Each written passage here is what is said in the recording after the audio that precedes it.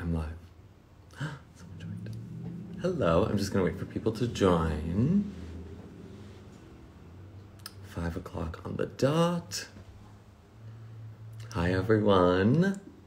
Welcome to my live, sponsored today by Absolut US. I like, oh I need to be able to add that quote. Write it in. Yeah. Thank you for joining me, everyone. I'm going to type in this thing. So much for my excellent planning. Tag Absolut US and share what hashtag oh. Love responsibly. Means. How do I pin the comment? Did that pin it automatically? Pin. Did I do it? Yes. Oh my gosh. I pinned my first comment ever on on Instagram Live. Hi everyone. Thank you for joining. Um, as those of you who follow me may know, I do not consider Instagram hosting to be one of my great skills, but I have dolled myself up for a good cause, which, first of all, is love. It is love for all of you. I have been gone for a little bit um, from Instagram, working on some projects, one of which I get to announce very soon, which I'm excited about. Um, but I, I wanted to spread some love to all of you, uh, my community, my love and appreciation. You are slaying the world and changing things and making things better and different and brighter. And I see you, and we need that so much. So, love for all of you.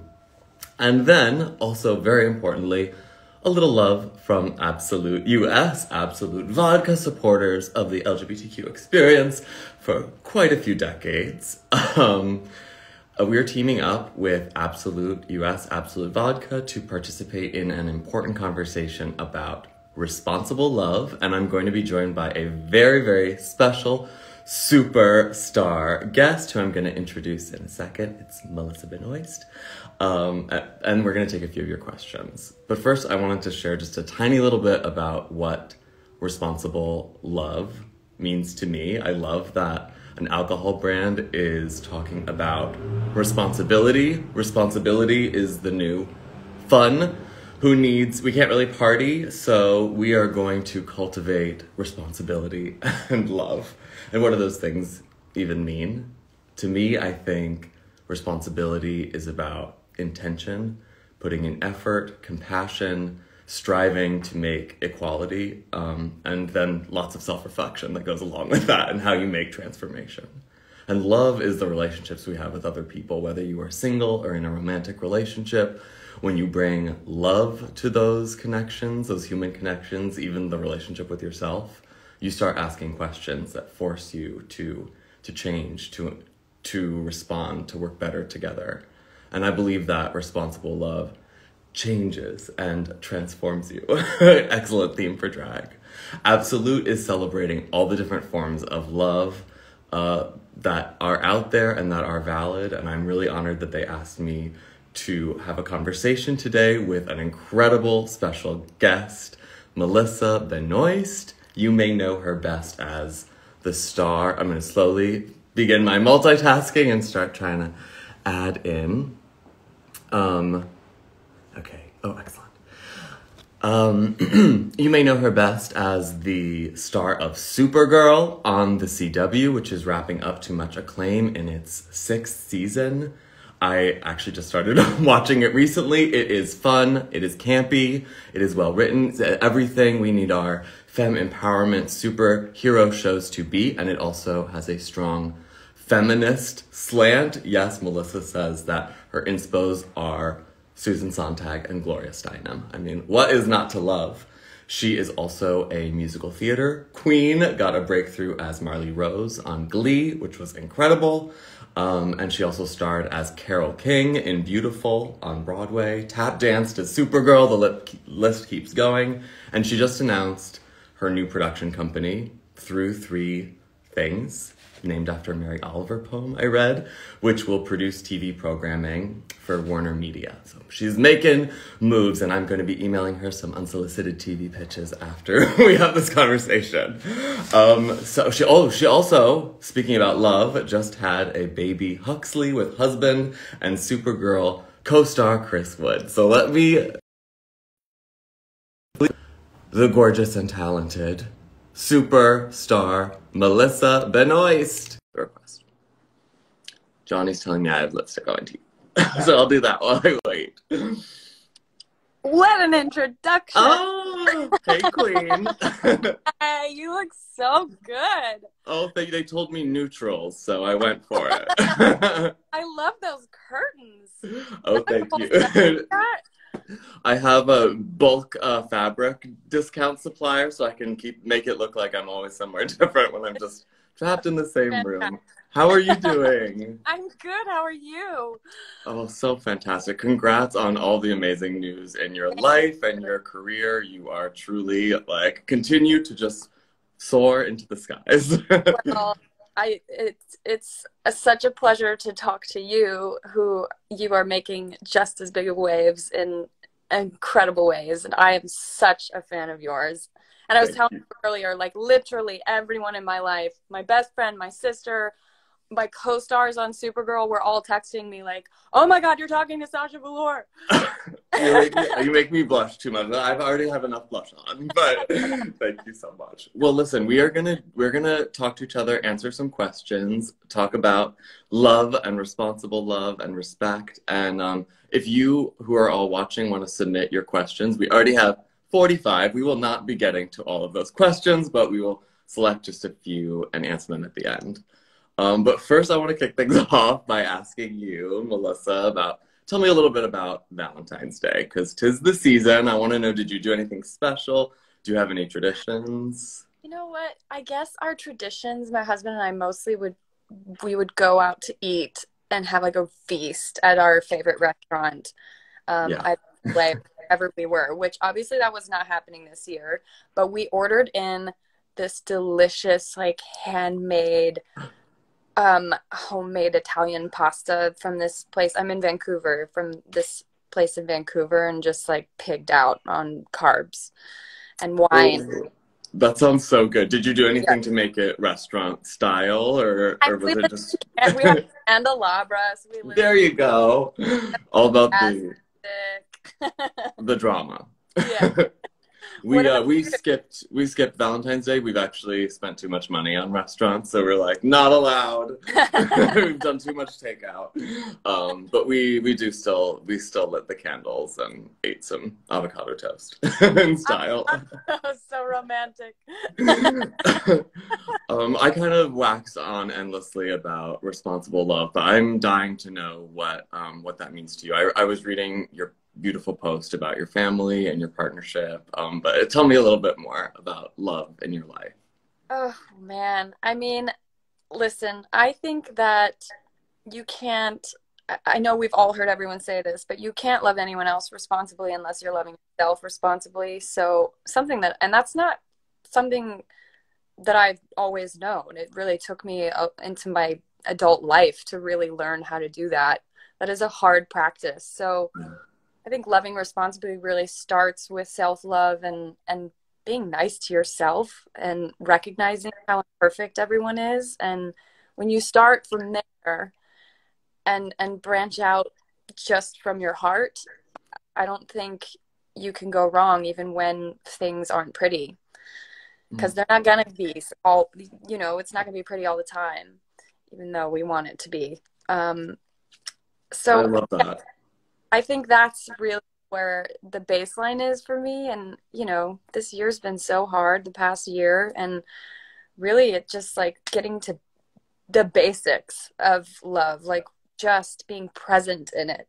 Um, that's, I think, also loving responsibly to me, like letting yourself live in each moment. Yeah. I've been my partner and I were talking about how how much like being flexible has been part of it. It's like we truly could not predict really anything and just like really being able to be present like you say, listen to each other's needs which are just as unpredictable as what's going on. Yeah. Um and then like respond. Um however that works.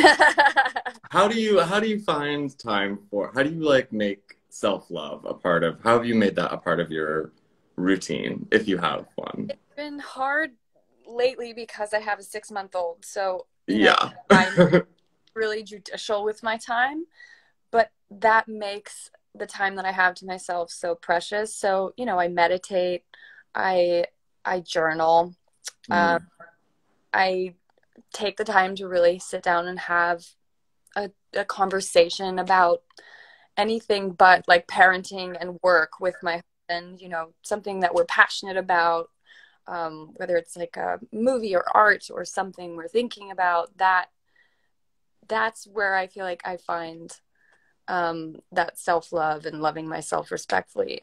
And just like having the mantras of, you know, believing in myself. And if I'm saying something mean to myself in my head, which I tend to do, I don't know if you do that too. oh yes. We're so hard on ourselves, and I have to like check my tone. I have to like Right. check my tone all the time with the way that I'm talking to myself inside my head. So, and and then I have to do that subsequently with everyone around me too. Right. Yeah, I was. ta- I remember thinking like the way that Gollum talks to themselves is actually like a healthy practice we all need to adopt. You know, you do sometimes have to reason from the different different emotional places that we're in. I love that drop Lord of the Rings reference. exactly. all the way to my heart. Um, okay, well, lost my space. Oh, yes. Um, do you think words and actions are important when practicing loving respectfully? And what do you watch out for? I guess that's words and actions in, in addition to just intentions, maybe. Right. And how do you watch out for like the effect that words and actions can have? I mean, I think it's everything. It's everything. And and I've been in relationships where it didn't work with words and actions and you know, it was really unhealthy and and not and not great and toxic. And what I think um I've learned now is that it does matter how uh, you present when you even when you have an issue with someone you love and and they're you want to have an argument um the way you approach it and and like the avenues you take that's everything and and the, the tone you set for how a conversation can go when there are problems or when you need to talk about love or um, when you need to work through something you're going through it, it's all about how you approach them with your words and your actions and if and you have to come from a place of respecting that they're a human just trying to work just trying to get through every day just like you are Yeah. There's always so much under the surface and there's always so much going on within ourselves day after day that you know it's just impossible to know everything about the people you love Mm. so yeah, listen, so like not making assumptions and just Yes. coming with the with compassion. coming with what you Compassion. feel and like knowing how you're dealing with what you feel because you can't control what someone else is feeling or what they do you know so you can only control not letting things escalate uh, or not letting things get to a disrespectful place Yeah, that's yeah, that's so true. And I, uh, in in my partnership, I've, we've been discovering like the long, the closer we get, the more important it is that we don't think we're the same person and think that our emotions are always going to be the same. Like recognizing, you know, I might be really freaked out about this, but he might not, and so we need to bring different and balanced energies to the moment. totally especially now because we're all cooped up together and even in that like even when we're all together all the time 24 7 in our household in our little boxes like there's still we live such different lives in here That's right. Thank goodness, because these boxes are not enough. beautiful but Can't trap us. yeah Um, if you are just turning tuning in, I am Sasha Velour, and I am sitting with super talented Melissa Benoist, um, and we are talking about love. you know, just a small, a small thing. Um, um, I think those were the que- those were those were the questions. Will you? I've seen so many people ask about baby Huxley. Tell us about. Give us the update. That is a love in my life that is just pure and unadulterated. Like, there's just nothing complicated about that, which I love. That he's just my whole heart.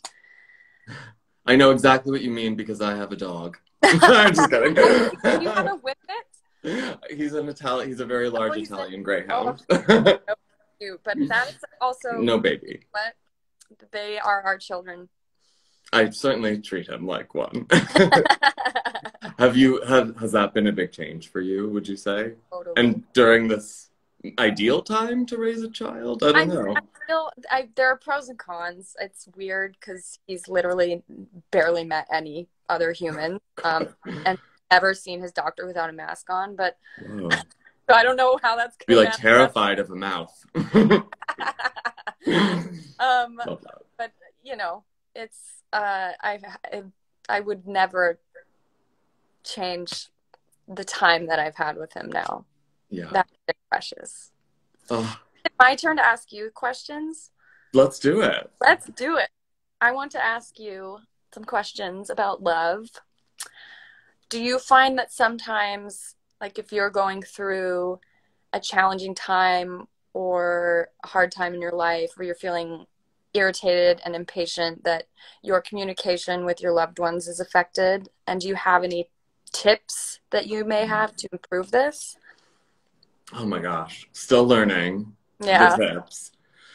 I one i, I definitely I, I always like especially with my my partner I, I cannot put on like a fake front at all. And I often, you know, I, I always try to show up, even if I'm really overwhelmed by something or stressed out, try to show up really calm. People tell me I, I seem mostly quite calm on the inside. Do not feel that way. And my partner can see it. So one thing that we've learned is like how to make things more manageable is kind of like you said, I, I have to be able to step away and process things. Our relationship is stronger when when I can be independent with my with, with the various crises that life throws at you and, and stuff like doing drag. I paint myself, transform myself into this whole other person. That makes me feel like I can face anything.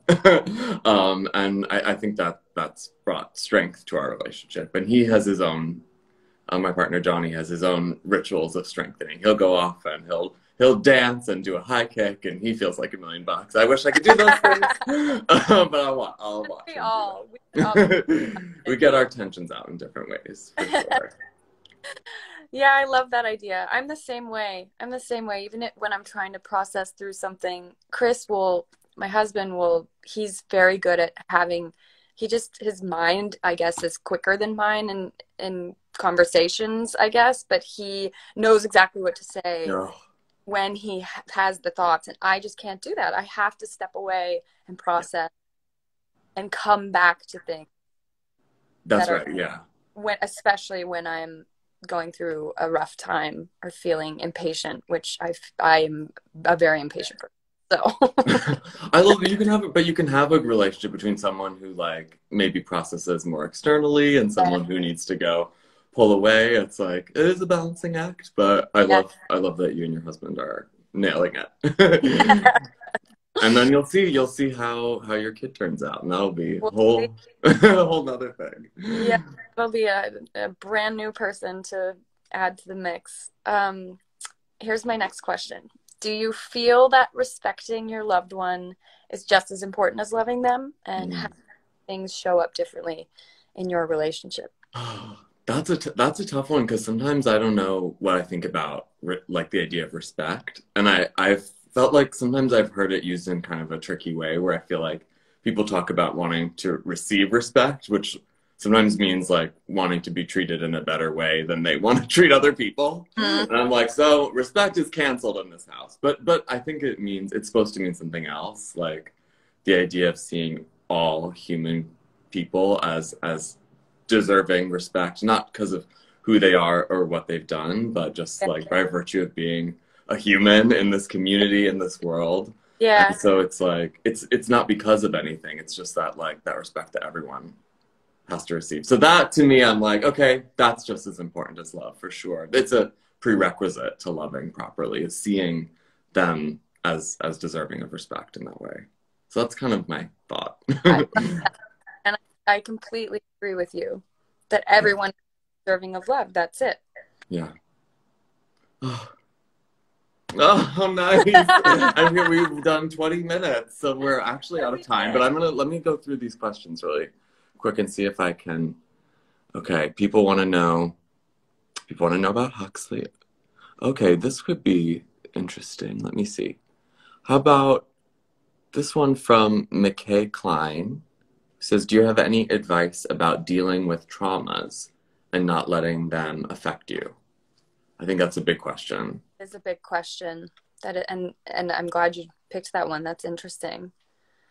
Um, I would say in in my experience, I don't let them define me. Hmm. And I recognize that they're a part of my journey, but, and there's gratitude there for whatever traumas I've been through that have shaped who I am, not definitive of who I am. You know, so you walk through life holding yourself with pride that you've been through what you've been through and survived whatever traumas survived. But, you know, don't let them define and just always recognize that. What about like? Literally writing this down.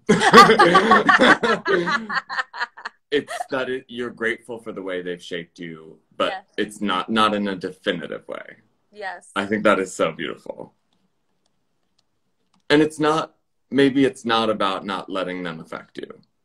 Yeah, I mean, you have to let them affect you. That's how you work through Yeah. it. And and even Oh. if you traumas that you're tri- you get triggered by even years later, you have to go through that. Um Yeah. and not be afraid of it. That's self-love.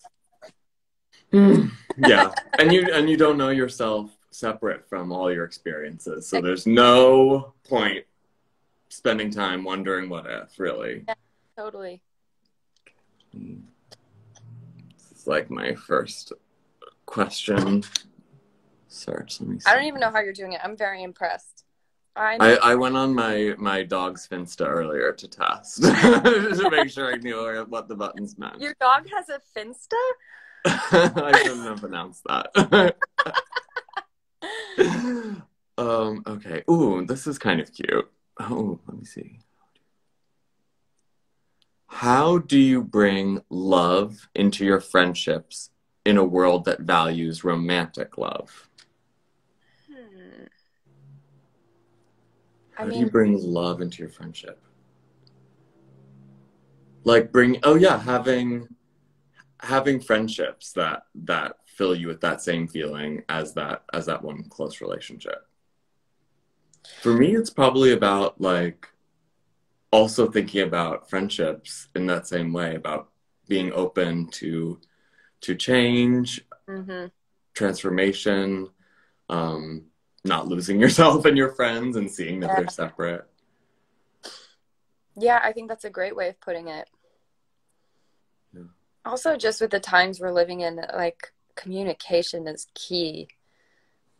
Yeah. How have you balanced that during these during these times? I don't know. Some days it feels like all I've done is zoomed with family and friends. And by the end of the day, you're like, oh, I, can't, I can't look at a screen anymore. But you're doing it because, Yeah. you know, you have to keep those bonds.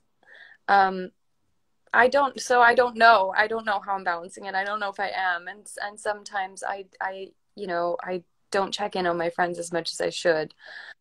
Yeah. Um, so I, I guess it's just reminding myself that I have that I should, and and you know, getting my phone out and just texting them randomly that I love them.